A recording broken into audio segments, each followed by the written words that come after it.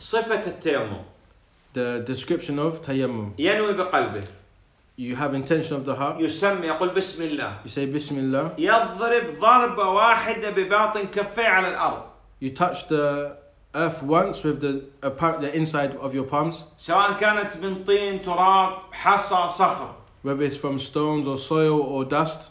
ثم يمسح الوجه Then you wipe your face وظاهر الكفة اليمنى and the back of your right hand وظاهر الكفة اليسرى and the back of your left hand. يخرج بهذا يصلي You leave in this state and you pray. متى يتيمم When do you perform tayammum? إذا لم يجد الماء If there is no water found, أو كان يحصل عليه مشقة من استعمال الماء or it will harm you if you use water. برد شديد It's severely cold, أو مرض or for a sickness, والله أعلم